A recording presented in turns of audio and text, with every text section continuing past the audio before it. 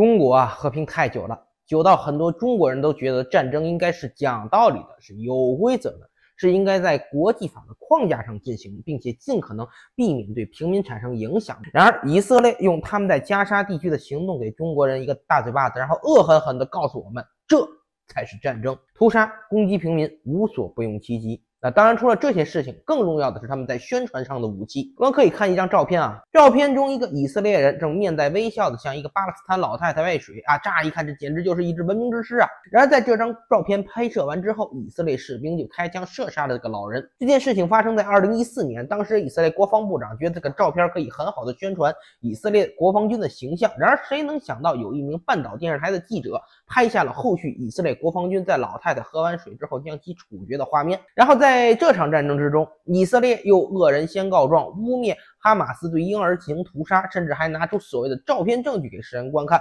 若非是后续有人用技术手段还原了以色列所谓的哈马斯屠杀婴儿的照片，发现这些照片全都是 AI 合成的，恐怕屠杀婴儿这个大锅呀，哈马斯得背得结结实实的。除了上面两条之外，以色列最为恶毒的一个手段啊，也是目前在中国互联网上用的最成功的一个手段，就是把哈马斯和巴勒斯坦拆分开，把巴以冲突偷换概念成哈以冲突，挑拨以色列人，想让哈马斯和以色列的关系区分开。但事实上，哈马斯就是在美国公证下选出来的巴勒斯坦执政机构。以色列的这一行为，就是在将巴勒斯坦的自救行动污蔑为恐怖行径，甚至哪怕是现在，还有人会反驳我说啊，你可以支持巴勒斯坦，但你不能支持哈马斯。上面的这些手段看似非常新鲜，但如果我们追溯自己的历史，就会发现这些手段当年侵华日军在中国都用过。先说第一个，制造军队亲善假象。我们可以翻翻历史，找到日本人到底有多么会颠倒黑白。他们为了掩盖自己的凶残本相，拍摄了多少张亲善的照片。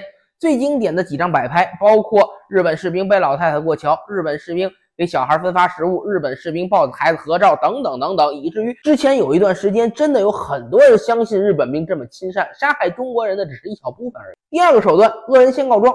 不管是九一八还是七七，乃至于后来上海的八一三，日本人的借口都是中国袭击了日本的军官或士兵，然后对中国进行惩戒性战争。但事实到底是如何？我们非常清楚，日本人就是包藏祸心，除此之外没有任何解释。奈何外国人就真相信那么一条？通过日本的舆论操作，当时西方媒体竟然真的一度认为日本对中国的战争是正义的。最后那个把巴勒斯坦和哈马斯区分开的言论 啊，日本人在甲午战争时候就已经这么干了。当时他们打的旗号是清政府欺压平民，他们要把中国人从满族的残暴统治中解放出来，以至于日本在刚进入台湾的时候，当地老百姓真的在欢迎他们。后来抗日战争中，他们又把国民党和中国强行拆分，到处宣扬蒋介石腐败啊，希望号召中国人能帮日本人反蒋。而现在。以色列把哈马斯抹黑成恐怖分子，大谈哈马斯领导人腐败，对他们为了争取巴勒斯坦独立已经牺牲一茬又一茬的事情只字不提，试图通过这种方式把他们和巴勒斯坦进行拆分，这种行为简直和当年日本人的手段